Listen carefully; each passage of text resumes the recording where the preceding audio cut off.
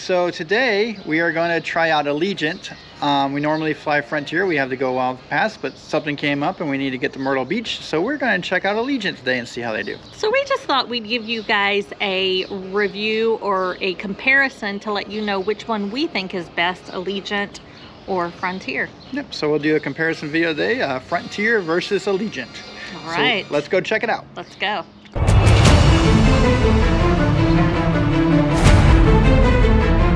Okay, so we made it through security. It was a pretty easy process.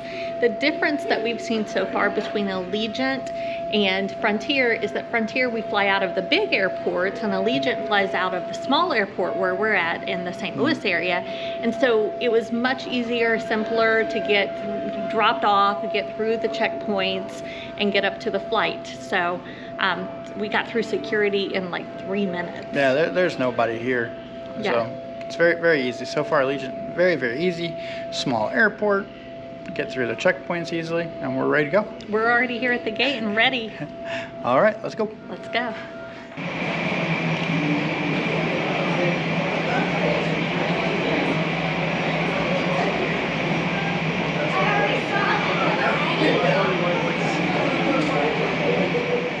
So these are my new friends I met on the airplane. Say hi guys. Hey guys. And we have determined this was a really good flight. It was. It Was. All right. Smooth. Very smooth. All right, we'll see you guys later. All right, we just got off the plane, landed here in Myrtle Beach. Uh, everything was on time, no delays. Uh, still no snacks or drinks or anything, you gotta pay for those. But it was okay, I think the aisles were a little bit bigger, the seats were comfortable, but uh, we made it. Uh, biggest part, no delays. So we got here on time. All right, let's go. Hey guys, so we are finishing up our vacation, or we are finished with our vacation. Yeah, unfortunately. unfortunately. And we are at the airport in Myrtle Beach and we are headed back to the Midwest. Yep, heading back home now. So our flight is delayed, Yeah. but you cannot blame it on Allegiant. Yeah. I think it's weather related. We, It is weather. We got a, a warning when we got here that there's a tornado watch. Yep, so there was a tornado watch. Uh, so I believe that's why we have a delay right now. Yeah. So we'll get home Yeah. eventually. Yeah, so far so good. So Although we could stay. it'd be nice to stay. If they give us an option, we're thinking about it, but we got to get back to work, so probably not. All right. So, all right, Bye. bye.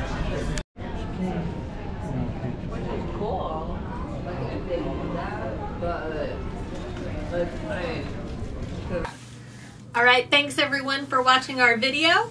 Um, my take is that the Allegiant airline flight was better than the Frontier flight. You Andy? I, I thought it was good. I think it, it seemed like that the aisles were bigger. I don't know if they really were, but it seemed like the aisles were bigger. I thought there was more leg room, maybe. but the one thing that really, really stood out Uh-huh. out to me is that the stewardesses were so nice and so funny. There was one named Pauline on the way back who just kept cracking jokes, and she was awesome. Yeah, she was funny. I mean, they said they were so nice, but just like the Frontier flights, you don't get any snacks or free stuff. So you don't see them too often because you still have to pay for your soda, your peanuts, whatever you want to get. You don't get anything for free on this flight either. And as Andy says, no, no, no. No, no, no, nothing, nothing free. So uh, and we, we used our bags, same bags that we used for Frontier, so you can watch that video. Worked perfect. So we didn't have to pay for any extra bags. Um, the airport we went to, we left from uh, Belleville Airport, and super easy. I think we were through uh, the TSA, the checkpoint, in less than three minutes. Yeah, there was nobody fast. there, so we got there, got right to our gate. Um, so very, very fast. So my review on the Allegiant flight, I'm going to give them a thumbs up.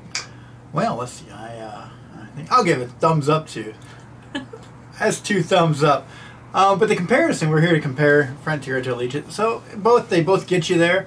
Uh, we didn't have any delays. The only delay we had was a weather delay. There was a tornado warning on our way back, so that delayed it. But um, But that wasn't their fault. yeah, the so so. Allegiant, Allegiant didn't have really any delays. Where our Frontiers had a couple delays here and there. Um, we would have flown Frontier to get there um, with our Go Wild Pass, but you have to fly all the way to Denver just to get to Myrtle Beach. So you fly halfway And we're across in the country. middle of the country, so Yeah. being from the Midwest, we're not going to fly all the way to Denver to get back I, to the. I think it would have taken coast. 16 hours too. It says so. Yeah. But anyway, so we got it. And Allegiant is one of those other cheap airlines, so it didn't cost too much.